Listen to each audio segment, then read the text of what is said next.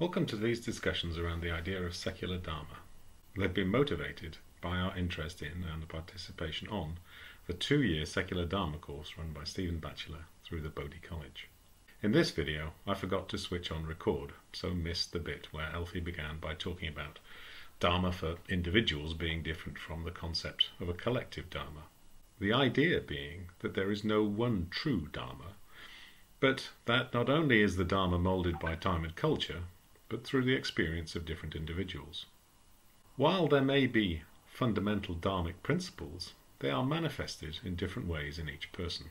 This is one of the reasons Dharma associated with religion can be seen as flawed, as religion presupposes that all followers embody the Dharma in the same way. This more flexible way of looking at the Dharma also seems to align with the questioning approach to Dharma that is fundamental to Zen Buddhism. Elfie then moved on to discuss how she first began to question this one-size-fits-all approach to the Dharma. Uh, in a way, for me, there's a circle closing when right? Now I first got into mindfulness.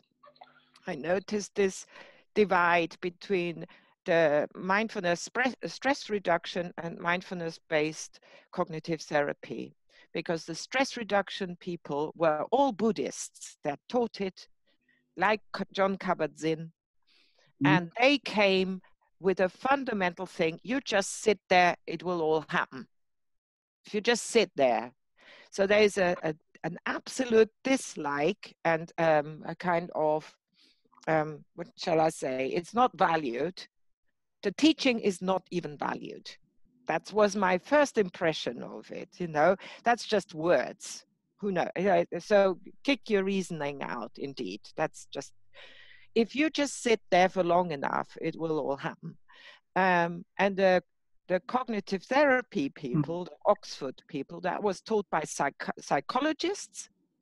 And they were really into their cognitive understanding. They wanted to tease it apart. There's a lot of cognitive therapy in it. And they were all teaching oriented, but couldn't really say so because they had to great, they had to pay great homage to Jon Kabat-Zinn. And uh, so they also said, you just got to sit there, but secretly told you all about teaching cognitive science and it's it never sat easily together and and it still does mm-hmm. and you find it when we now walk out you know with our teaching attitude and our reason attitude the clash is is still immediately apparent and mm-hmm. and we might well meet those people who tell us we are wrong you know. uh, when you were talking just then, you were you were summarizing. You were had brought together the different aspects of what we've been talking about about the um, the holistic nature of the philosophy of the Dharma and the different strands, and how that could become build into something, and at the same time,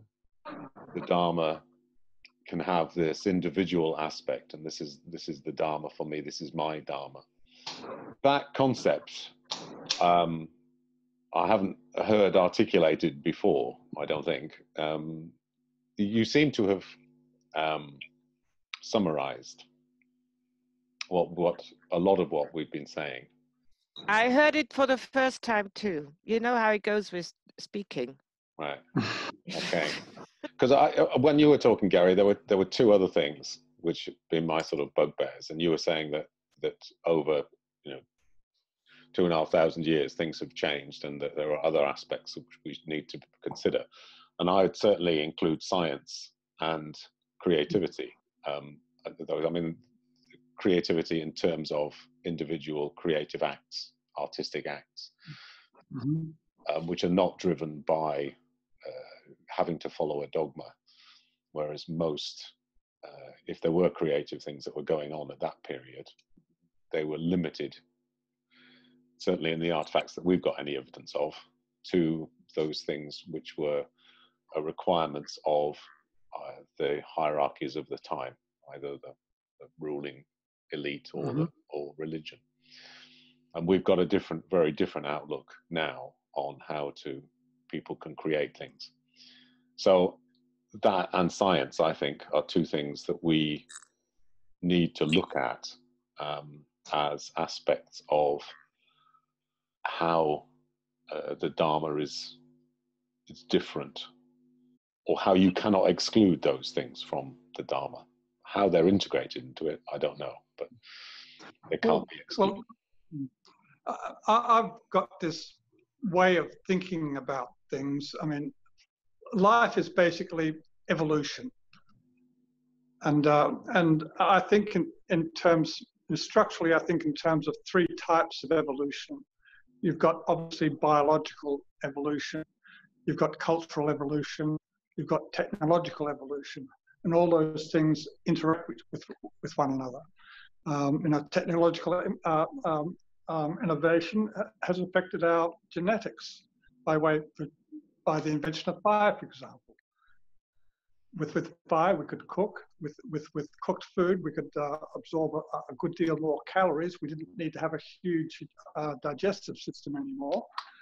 Uh, so you know, those the, these various strands of evolution can can interact with one another, and humans are, are unique in having these other two strands, these uh, cultural and the technological um, uh, evolutions going along parallel with the, with uh, biological evolution. So I'm not sure where I'm going with that. but No, anyway. that, that, that, well, that's that's. But that, I've been I wrote it down and I'm recording it now, so I can. I, they're not, they won't go away. So Okay. that's, that's very useful. I think that's. I think you're entirely right. Hmm. And um, anyway, I didn't know what we were going to talk about today, and I thought, oh, it doesn't really matter because this group is so fascinating. Oh, I should wave goodbye so because it's going to go. Bye Okay. bye. See you then. Okay. Bye.